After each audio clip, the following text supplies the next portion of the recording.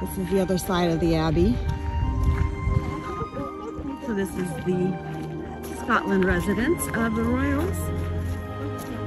And this is where they actually stay and have meetings and all that sort of thing. And across the way here, it looks like there are beautiful hiking trails.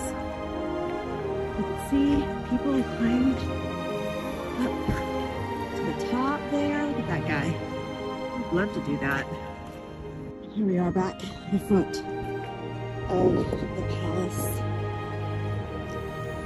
Back at the front of the palace. And here we are.